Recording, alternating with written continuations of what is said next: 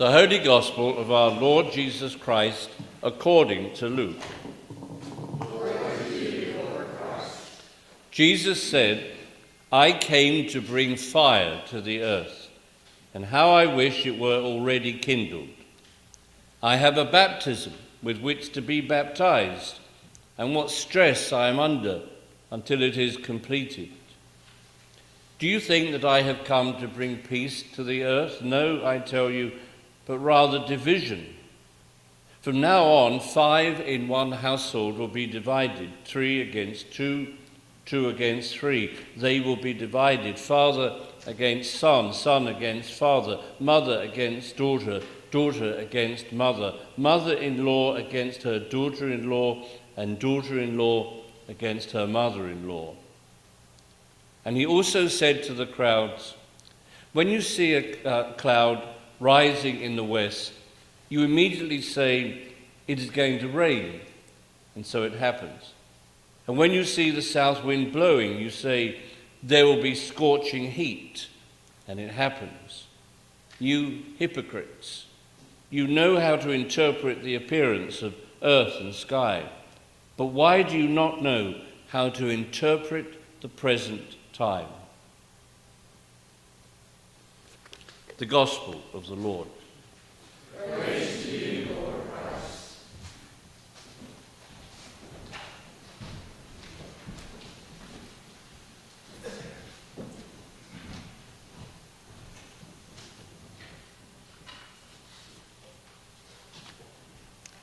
You, hypocrites. Rather strong language from Jesus, that godly person who brought the love of our New Testament God to humanity to replace the wrath of an angry Old Testament God.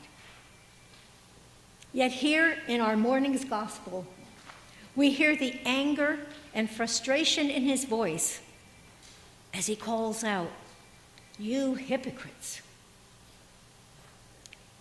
Scholars tell us that this phrase was perhaps introduced into the writing because it was frequently used in first century Palestine as words of abuse.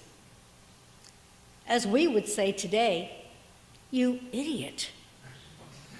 Or Archie Bunker might have said to Edith, you dingbat. Or you meathead to his son in law. But look at that section of our gospel story. Jesus tells those in attendance that they can read the skies and the winds and realize what the weather will be like.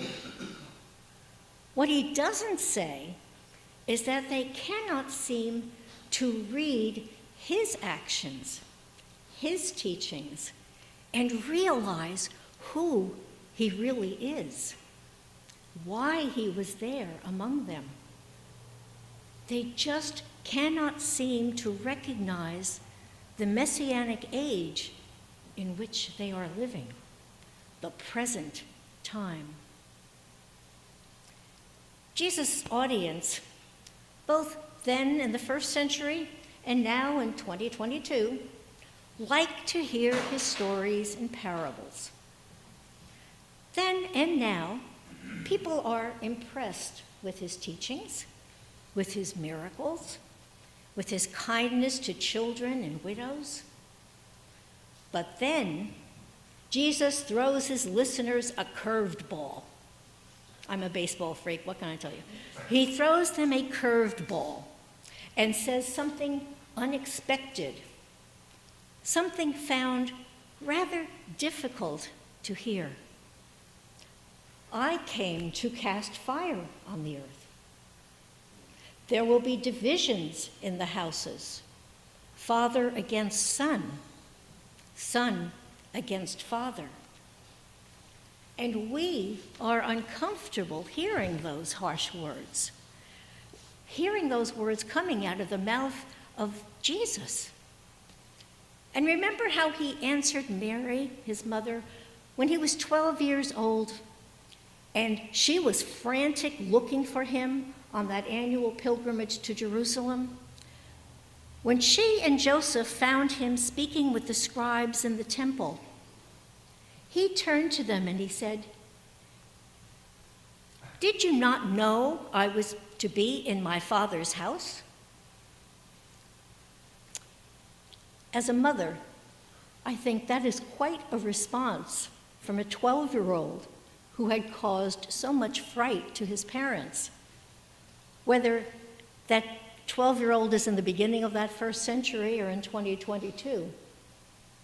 But I believe that that is exactly what Jesus intended to do to make us uncomfortable here in our present time, just as his words would have done to his audience in that first century episode.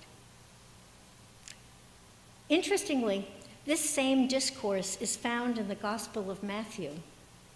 But Matthew eliminated those two words, you hypocrites. Different audience. When we look through the many discourses and soliloquies presented to us throughout the four Gospels, we find that there are many instances when Jesus proclaims ideas and comments that are very difficult for us to hear. Go sell all that you possess and give your money to the poor, and then you will have treasure in heaven. Are we supposed to take those words literally? Then there is another quote later on in the Gospel of Luke. A woman in the crowd raised her voice and said to him, Blessed is the womb that bore you and the breasts that nursed you. And Jesus responds to her sounds. It sounds kind of insensitive. He turns and he says, Blessed rather are those who hear the word of God and obey it. Period. Not one nice word was spoken by Jesus about his mother at that time and place. So, what do we think these statements from Luke mean for our relationships with our families? And what could it mean about our relationships with each other? Jesus is very aware of his relationship with his heavenly Father, Yahweh. Is he then saying our relationships on this earth our human relationships cannot compare to our relationship with God? Perhaps. Perhaps Jesus uses these instances to interject a form of shock value in his teachings and preachings. You see, the folks back in those biblical times were just as stubborn as the folks are today some of us right here at Zion. So sometimes they and us, we need at that jolt of reality to make us aware of what is happening right around us.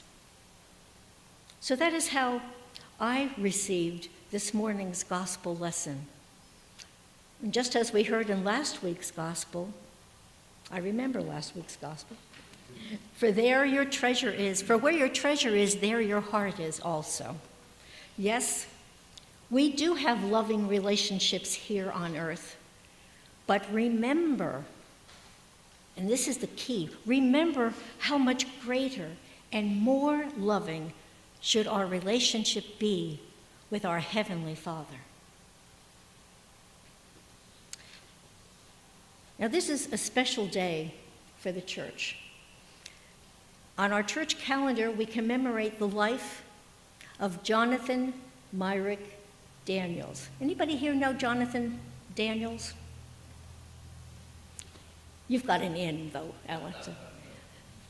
Jonathan was a seminarian from my alma mater, Episcopal Divinity School. And he was killed while registering African Americans in Alabama to vote back in 1965. He was working the area around Lowndes County as the first white civil rights person to be in that county, encouraging the local folks to register and to vote, to have their voices heard. And as you can imagine, this really upset the local white supremacists and KKK members. They did not take kindly to people from the north coming into their territory and shaking up their status quo. Well, one day, while stopping at a local convenience store with some of the young African American teenagers who were working with Jonathan, Jonathan pushed a young girl aside when one of the local men lifted his shotgun at her and fired. Jonathan took the bullet meant for young Ruby Sales, and she died on the spot. The shooter was identified as Tom Coleman. Later, he was put on trial. He was acquitted of the shooting of both Jonathan and another white preacher. When interviewed after his acquittal, Mr. Coleman said that he would do it all over again. In 1980, Jonathan is recognized as a martyr in the Chapel of Saints and Martyrs in England's Canterbury Cathedral. The only other 20th century American with this distinction is Martin Luther King Jr. Then in 1991, Jonathan Daniels was named a saint in the Episcopal Church calendar. So there is a happy ending to that story, isn't there? In an article published in our Washington Daily News last week, I wrote about saints as friends of God. And while alive, Jonathan gave up his Harvard graduate school education to go into ministry because he knew God called him to do so. Just by that action, by doing what God wanted him to do, that set Jonathan on the path to sainthood. I believe that if he had not died there in Alabama, he would have dedicated his life to serving others, to helping the downtrodden find their ways up. You see, Jonathan had the heart of a saint. He had the mindset of a saint. And he was willing to give his all for his God given call to serve others. May God bless Jonathan and all those who follow the call to serve others. Amen. Amen.